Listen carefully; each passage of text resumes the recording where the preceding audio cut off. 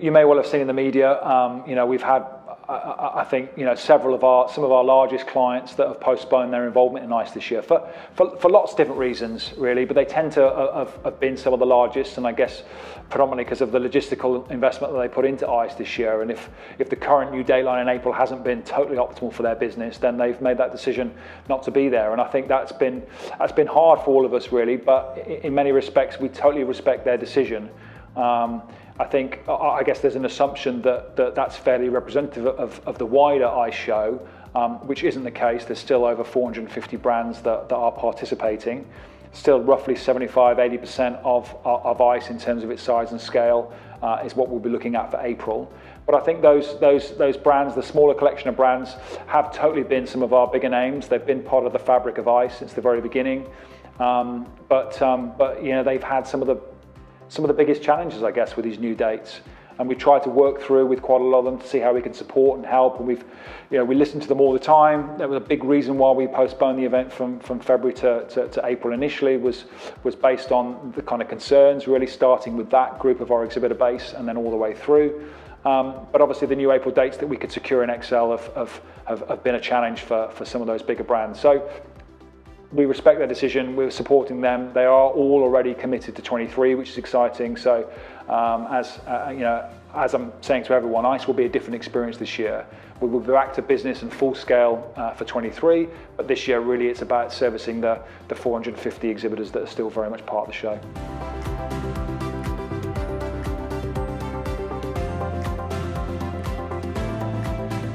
It's an interesting question because obviously the shift of um, uh, a large proportion of the land-based um, slot suppliers not being at ICE will mean that obviously it isn't quite as representative of the entire gaming ecosystem that it ordinarily is, and obviously will be again in 23. So um, there is a shift, it will be different. It's not by design from our perspective, so we don't have a, um, a strategy this year to present more of the iGaming community, but obviously naturally because of what's happened, you know, there certainly will be a, a mix and a different experience.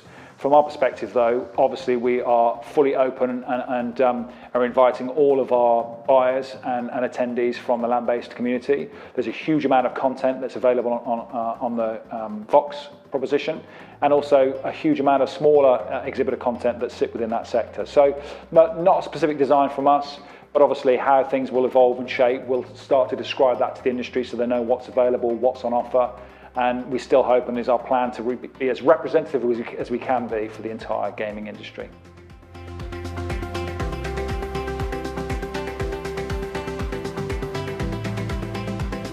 I think with, with the live, and certainly with a return to live um, since COVID, the focus has been very much on quality versus quantity.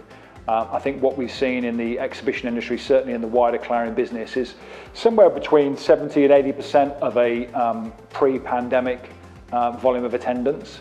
But what we have um, seen is either, at the worst case, retain, um, we've retained the quality of the audience.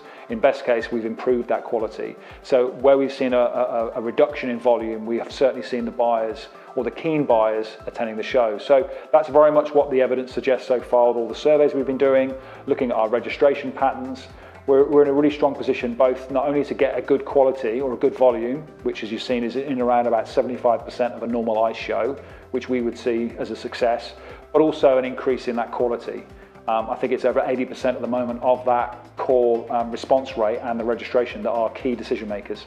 So really that kind of mix between quantity and quality really is where we're targeting. So I think really at this stage, if we were to achieve a 75% um, normal version of ICE in terms of the buyer volume, but improve on the decision making, I think actually everyone will have a great time. The kind of decision making, that purchasing will be more of an express experience. Um, and it's only really logical to assume that's going to be the case. There are still restrictions in certain, in certain countries and, and, and uh, throughout the world, so travelling to London won't be for everyone this year, but it certainly appears to be for the majority, which is great.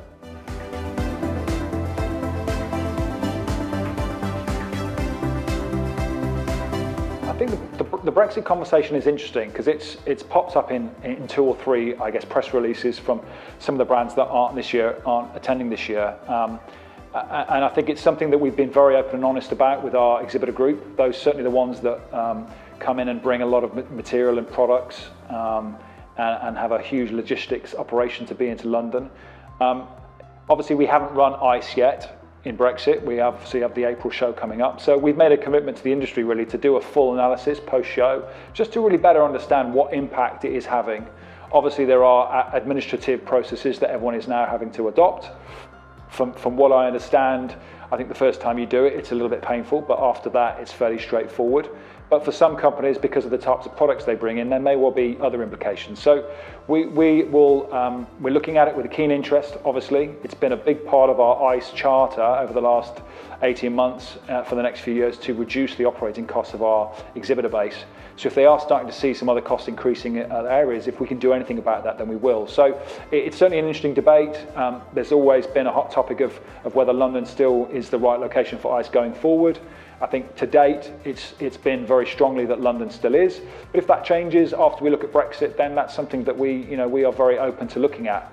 We've always been firm with our commitment to the industry that we will, you know, as the custodians of the brand, um, if, if, if they wish us to look at alternatives in the future, then that's certainly what, we, what we're doing. So we were doing a lot of strategic research, both quantitative and qualitative, during the ICE show in April and post the show, and really getting amongst all that detail. And I think once we've got that, it'll help us shape what we need to do in the future to kind of avoid any of those unnecessary um, barriers, really.